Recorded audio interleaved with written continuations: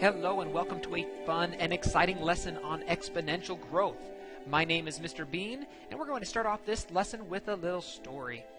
Once upon a time, there was a beautiful princess named Kellerina. Okay, maybe not so beautiful. This princess had been kidnapped by an evil dragon named Dragonbrust. Roar! Okay, yeah, maybe not so evil. Kellerina's father was the king, King Von Sully. King Von Sully offered a very considerable sum of money to anyone in the kingdom that could rescue his daughter from the evil dragon. There was one such brave hero in the kingdom, willing to risk life and limb, Signor Bino, who was. Uh, oops, wait, wait, not that Bino. There we go, that's Signor Bino. Signor Bino told the king that he would rescue his not so beautiful daughter from the not so evil dragon. King Von Sully at first offered one million dollars to anyone who could rescue his daughter. One million dollars. But King Von Sully realized one million dollars probably wasn't enough, considering he was the king and all, and he was very wealthy. So instead, he offered Signor Bino one trillion dollars. That's the same as having one million millionaires offer all of their money. Now, Signor Bino went to the king and said, Sire, I don't want to take advantage of your generosity, so being the good person that I am, I have another idea for my payment. If you'll take a chessboard and put one penny on the first square, and then double that and put two pennies on the second square, and then double it again and put four pennies on the third square, and continue that doubling process until you fill up the entire board. After only one line, the king saw that the total amount of money was only a little over two dollars. He was so impressed with Signor Bino's magnanimous offer, he immediately accepted this agreement. In today's lesson, you'll see how much money Signor Bino will actually receive after the entire chessboard is filled up. This process of doubling is an example of something called exponential growth. And while it may not seem like much at first, you will see how rapidly it increases, and that Signor Bino is not nearly as nice as he appears. So let's get into the bulk of the lesson now, dealing with exponential growth functions. If the variable is not in the exponent, then it is not an exponential function. Here's what that means. You look here at the exponent. Here we have a, an x up there in the exponent, and that is the variable, and therefore it is an exponential function. It must be in the exponent. Now let me put this another way. Here's how I remember. This is funny. Ready? We have the word exponent, and if you take the x out of the exponent, you get eponent, eponential function. There's no such thing as eponential function. It's got to be an exponential function. Get it? Okay? Or there's really no such thing as eponential function. Please don't say that in the future. That's embarrassing. All right, so here we, you have, writing this down in our notes, what we call the initial value, what you're starting off with. And then B here, the base is a growth or decay factor. Now, for today's lesson, we're focusing just on growth factors. Next lesson, we'll do both growth and decay. This will also set up for when we start doing models, real world application stuff, and we'll do a lot more of that in the next lesson. A couple conditions with this is that a cannot be 0. If this was a 0, then the whole thing would become 0 and you would just get y equals 0. Okay, that would be kind of dumb, so we're not doing that. a cannot be a 0, the initial value. Also, the condition of condition 2 is the base must be positive, uh, and it cannot be 1. So it's got to be some positive number, and we can't be the number 1. If it was the number 1, then 1 to the x would just equal 1, and it would just be a times 1 all over the place. And so those are the two conditions for exponential functions. So let's identify whether or not these are exponential or not. So for the first one, 2 raised to the x, is this exponential? Yes, it is. And the initial value is, this is tricky, it's a 1, and the base is a 2. See, this is a base 2, and there's a, you don't see it, but there's a 1 times in front of this thing, and so a is a 1. Is number 2 here, is this one exponential? This one is not, and it is not exponential because, we're going to get rid of those lines, because the variable is not in the exponent. Remember, exponential. It's got to be inside exponential, exponent. All right, here we have the variable up here in the exponent. That's okay. The base is positive. This The number can be negative in front. That's okay. So this one is yes. A is negative 3. The initial value is negative 3. And the growth factor is a 2.6. Uh, this one here. Uh, is it exponential? It is. You might have wanted to say no, it's not, but here's why. The a is a 10, And the base, this is a little tricky. Uh, you're not good if you remember this. This is the same thing. I'm going to write it down here. This is the same thing as 1 sixth raised to the x power. A negative exponent means you flip it. And so the base is actually 1 sixth, not just a 6. And then here, this is tricky here too. We're going to get into this in 9.3, 9.4.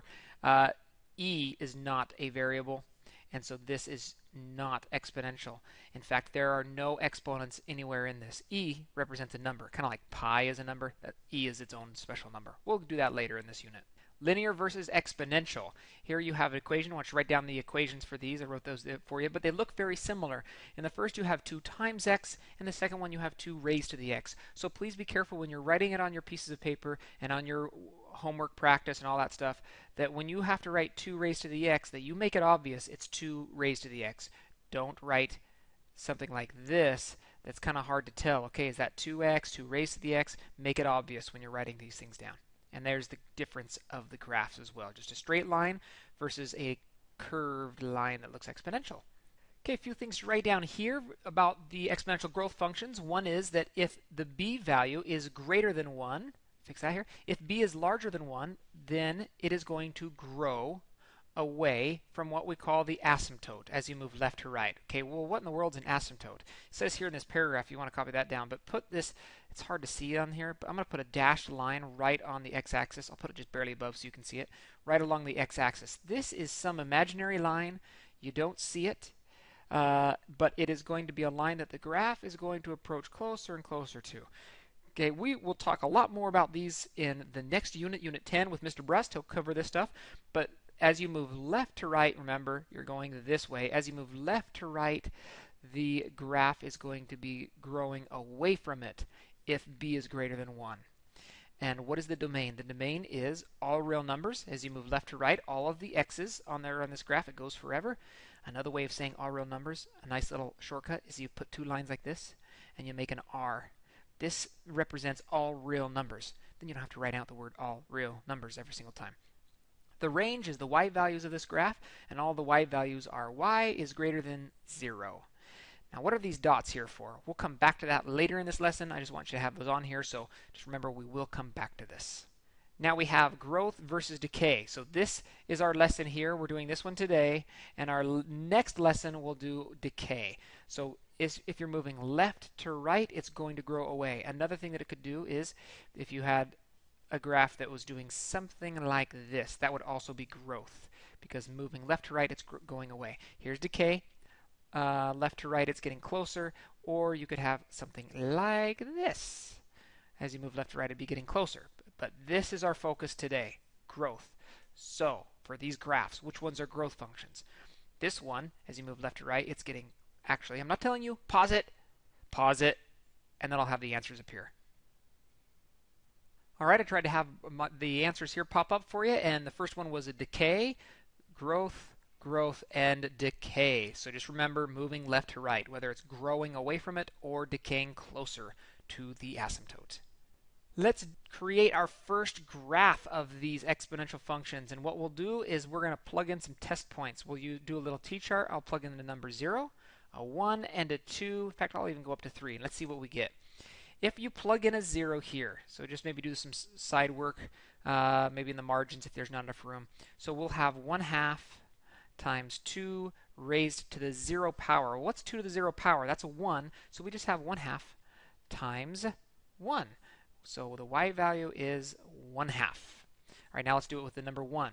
Now we have 1 half times 2 raised to the first power. So that's 1 half times 2, which equals 1. So when x is 1, the y value is 1. All right, now do this again. We plug in the number 2 into the x value. So plug in a 2 there. We get 1 half times 4, and half of 4 is a 2. Next one, we have 1 half times 2 raised to the third power. And let's see here, one, that means 1 half times 2 to the third is 8. Not 6, it's 8. And then half of 8 is a 4. All right, so now we have some values that we can plug into this graph. So we go 0, 1 half, and let's, I'm going to switch colors. There we go, a little bit easier to see. 0, 1 half, 1, 1, uh, 2 and 2, 1, 2, one, two, three, three, and four. Okay, and now we can see we could keep getting some more points. Uh, and we have our asymptote is going to be, this is what the graph looks like. It's going to be very, very close to this thing, and I'm drawing this freehand here, so it's going to be really squiggly. I'm trying not to make it squiggly. And then you start growing up like this, and it grows really fast as you move left to right. That is what this graph looks like. What is the domain? We have all real numbers, all of the x values from left to right forever and ever. And then the ranges are all of the y values that are larger than the asymptote. And the asymptote in this case is the x-axis. See, it's y equals 0 is the x-axis. And so it's above that line. We put y is greater than 0. All right, first one down. So now this box would work these coordinate points will work for every exponential function that we're trying to plug in if, unless things are shifted and translated, which we'll show how to deal with that. So if you plug in a 0 here, remember, this becomes a 0, it b to the 0 is 1, and all you're left with is a. That's going to happen every time. So 0 comma a is a quick coordinate point without having to do a lot of calculations. Same with this first, with the number 1. If we plug in a 1, it's just a times b. So there's another quick and easy coordinate point. Those are two fast, easy coordinate points along with sketching the asymptote that can help us sketch these graphs. Uh, you know, if we wanted to add another one, you could put this 2 comma a b squared. Uh, that might be another one that could be fast. So these would be, we always want to do at least two points, preferably three, to help us sketch this stuff. Three is best to have if it fits on the graph. Now, before we go on to the next part of this lesson, I've got to make sure I emphasize you are not going to be allowed to use a calculator on this mastery check. And so, for the practice and for the rest of the notes, you want to try and do everything you can without needing to refer to a graphing calculator. So, that brings us to this. Well, what are these three points here? This first one here, that one would be 0, comma, a. So, go back in your notes and let's add this in. And then this coordinate point here would be 1, comma, a times b. And then this coordinate point would be 2 comma a times b squared. Those are three coordinate points along with the asymptote that can help you sketch it. So now we will graph number 2. I'm going to do this number 2 with you, and then I'll let you try number 3 on your own. So again, we are going to look at the coordinate points 0, comma 1 half. Remember 0, comma a, so that first one. And then 1, comma, if we plug in a 1, it's just going to be 1 half times 3. Half of 3 is 1.5. You could say 3 halves, leave it as a fraction, or 1.5. I like decimals when I'm putting things on a graph just because it's a little easier. And then if I did a 2, let's do one more so we can get another coordinate point. So 3 squared is 9, and then half of 9 is 4.5. So let's graph them. Switch to my red. 0 and a half. 1 and 1.5 and then 2 and 1, 2, 3, 4 and a half. Okay, so there's our coordinate points. We have our asymptote over here on the left, so it's really close to the x-axis. And then, ooh, much better. Oh, I spoke too fast. I was about to say that was nice and smooth. So it almost looks like a straight line on the left, and then it starts to curve up, and hopefully yours looks better than mine. All right, there's our graph. What is the domain? I'll put arrows on the end here. Goes forever. The domain is all real numbers because it's going off forever. And the range will be all of the y values that are greater than 0. All right, done. Let's try number 3. Before you start it, I'll at least give you this hint. What is a equal and what is b equal? a is equal to negative 1, and b is the base, b is a 2. So start with that. See if you can graph this one. I'll have the answer appear here in just a second. And there's your answer to number three. I plugged in a few different points, not just the three, but then the three, negative eight, just to give you an idea where it would be off this graph. Uh, this time, because it was negative in front, it's below the x-axis. The domain's all real numbers. And then be careful here, the range was now y is less than zero because we're underneath the asymptote. Now on to the fun with translations. Uh, H and K, this is just like stuff we've been doing all year. We did this with absolute value graphs. We did this with quadratic functions. We keep shifting things, square root graphs, all that stuff. When it's inside the exponent with the x, we're shifting it the opposite way of what you'd expect. So if it says a minus, then we're shifting it right. If it's uh, here on the outside, though, plus k would mean up. So we're shifting it horizontally, left and right, h units, and vertically up and down by k units. Let's do it. So here's our first one. my recommendation is to start off with what were the original points before we shift them. So 0, comma, a. A would be a 2. Okay, don't worry about this minus 1, minus 4 yet. We're going to completely ignore that stuff for just a minute. Just look at this 2 times 3 raised to the x, and then we'll deal with the other things. So 0, 2. And then we're going to shift that. We'll worry about the shifting in a minute. And then we have a coordinate point of 1, comma 6, because it's a times b, and then we'll shift that. And then we have a coordinate point of 2, comma, let's see, 3 squared. If we do 3 squared times, that's 9, times 2, 18. Woo, that's a big number, 18 and we're going to shift that. All right, so now what is our new coordinate point? Let's write this in red so it stands out.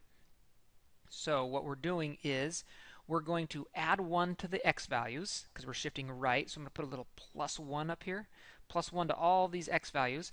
And then we're going to subtract 4 from the y values because we are going down. So then we go minus 4 to the y values. So my new coordinate points now are going to be all the x values are added 1. This one becomes a 2. This one becomes a 3. And my y values, I subtract 4 from them. So now I have 2 minus 4 is negative 2. I subtract 4 from 6, I get a positive 2. Subtract 4 from 18, and you get a 12. Now this coordinate point, this last one, that's going to be way off my graph, but uh, that's okay. These other two can help me. Uh, so now let's do this. First thing, maybe in the side of your notes, great place to write this. When you've shifted things, my recommendation, is 1, 2, 3, 4. Draw the uh, vertical asymptote, not vertical, excuse me, these, this horizontal asymptote. Do that first because the asymptote is kind of like your guide to help you know the boundary of your graph. And then we can plug in these points. So we're going to go over 1 and down negative 2. There's one of the points. And where's my next one? Uh, 2, 2. So 1, 2, 1, 2. And then if I could go 312, it'd be way off the grid, way up here somewhere. Uh, 312. So then I have my asymptote. It's going to be going right along the asymptote, and then it curves up pretty sh sharp here. It's going to go up really steep, and oh, it's really hard to make this straight with this electronic pin here. All right, there we go. There is my graph. Domain, easy peasy, all real numbers. That's what it always is for exponential functions. But the range is different. Its y is greater than, because it's above the asymptote. But what's this asymptote? It was shifted down 4, so its y is greater than negative 4.